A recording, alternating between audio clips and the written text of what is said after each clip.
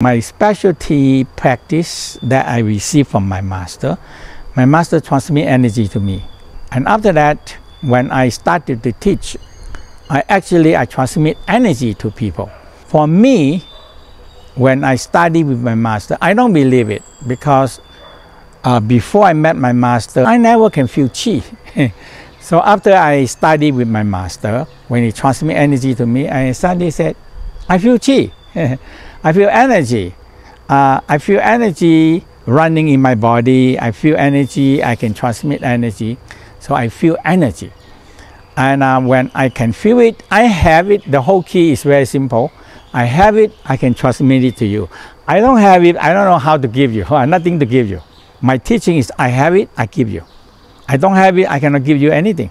You know, I have doing this transmitting energy to help people for nearly 50 years. 50 years of practice and working and helping people. The transmitting online, I developed this uh, scene on the COVID, I developed it. Now in a mobile telephone, we can talk to anybody in this world.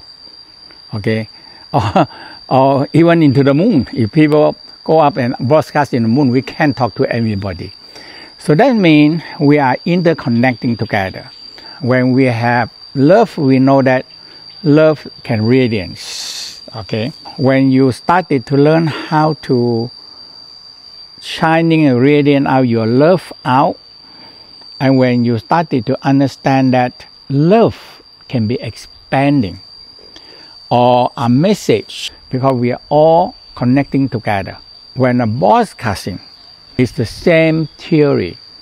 So when you develop this love, joy, happiness, radiant out, and when we develop in the mid eyebrow and forehead is very important. Developing the mid eyebrow and forehead, and we call the source hand. When you learn how to charge energy in the fingers, training fingers and the hand. And if you walk, if you train longer, you started to learn how to charge and store energy in the bones. So when you make the bones big and long, extend up to universe and hollow. Okay, so we only charge the arm up to the shoulder. So we always block the shoulder. So when you charge the qi in the bone, bone have a lot of qi. And when you charge them, they have more qi. And when you need to use it, you can use them.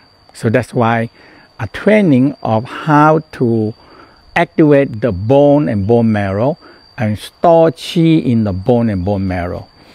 And all this qi can use for healing, can use for healing yourself, healing other people, or maintain uh, protecting shield, maintain a good energy around you. Uh, it's a training. So um, in the Tao practice that I inherit from my master is energy training.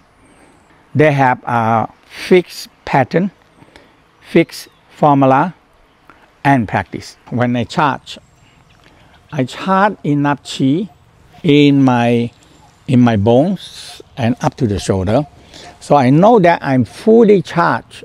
For example, I feel that I need more uh, when I know that, okay, we have more online, more people, so I charge more chi in here.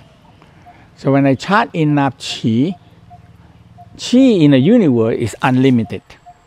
But we limited. We limited when we're not trained. But when you train your bone, bone can be expand very big. So bone can be hollow.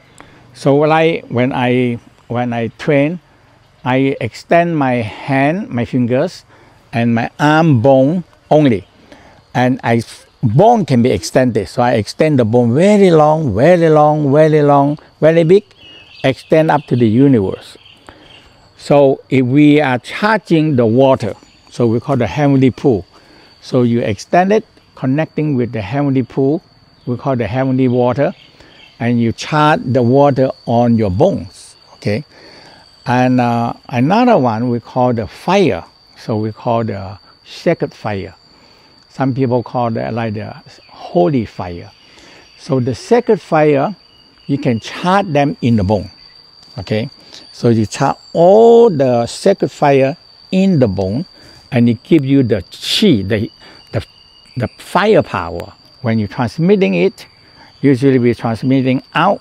So I have all these bone are charged with energy. It's just like I charging in here and I can releasing this energy that I charge from the heaven into the uh, into the camera and to the broadcasting. Okay, the energy in the universe is have a certain uh, density itself.